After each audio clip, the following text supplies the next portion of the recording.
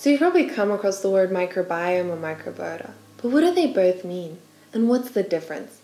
That's what I'll be covering in this video. Hey, I'm Sophia from GUTXY, and we let your gut guide you to better digestive health. Did you know that your body is not only yours? It's actually home to a vast collection of microbes. These are mostly bacteria, but they also include viruses, archaea, and fungi, and they're all invisible to us. Typically, when we're talking about our microbiome, we're referring to these microbes that live in our colon. But we don't just have a gut microbiome, we also have one on our skin and in our mouths. And we're not the only ones. Other animals, plants, soils, and even oceans have their own microbiomes. And that's because they're super important for our health.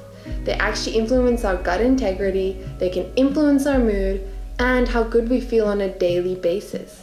Now, you may have been a little confused reading up on this because a lot of media sources like to use them interchangeably. In general, you can think of them as overlapping definitions with a slight difference. Basically, your microbiota are the bugs, and your microbiome is the bugs and their genes.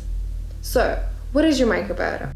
It's all the different populations of microbes that live in your body. You can think of these as numbers that vary between you and someone else. So if you're taking a gut test, this is often what you'll be looking for, the percentages of your bacteria. Meanwhile, your microbiome is the microbes and their genes. Looking at your microbiome, we can see how it affects your body. But don't forget, we have both good and bad microbes, and the important thing is to keep them in balance.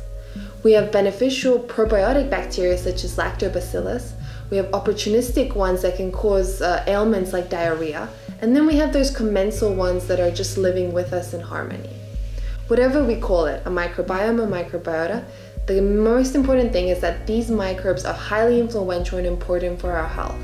You are what your gut microbes eat.